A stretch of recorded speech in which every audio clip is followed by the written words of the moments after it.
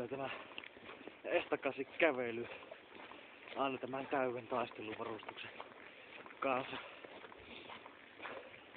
Kannattaa aina järkevästi sijoittaa nämä tavarat tähän repuuselekkä. Yleensä minä aina kietassut tuon Petsarin tuohon repu piälle sillä tavalla, että kaiken paskansa kannattuu selässä.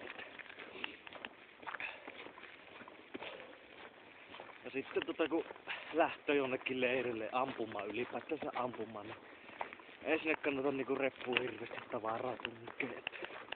Vaan niinku sen minkä tarvitsee. Se on niinku kevyt kantaa kanssa. Jee. Yeah.